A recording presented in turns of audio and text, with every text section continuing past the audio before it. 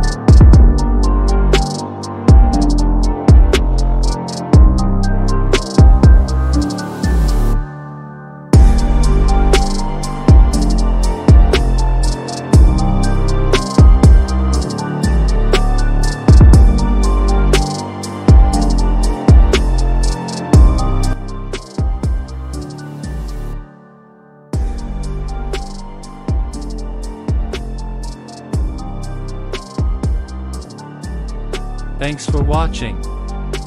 Keep watching and support.